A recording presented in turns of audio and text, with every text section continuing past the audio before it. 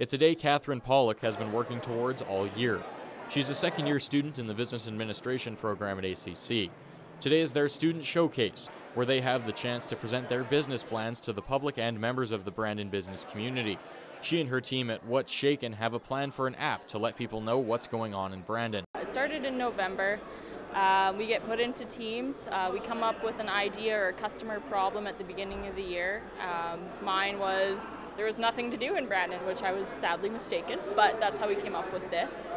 Anyways, it was they put us in groups with people that thought similar things, and then we kind of worked together along the way. Terry Arksey teaches in the Business Administration program. He says the goal of the trade show is to show students what it's like to be a part of a showcase. They produced a, a detailed business plan uh, explaining their particular business plan in a variety of ways in marketing, operations, uh, finances, and now today they get to showcase it in a, in a trade show environment.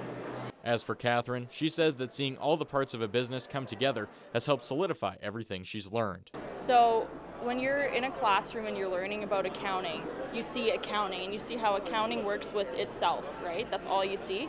Whereas if you're in like marketing, you only see marketing. So this really makes everything fit together as one thing so you can see how a business operates in your head.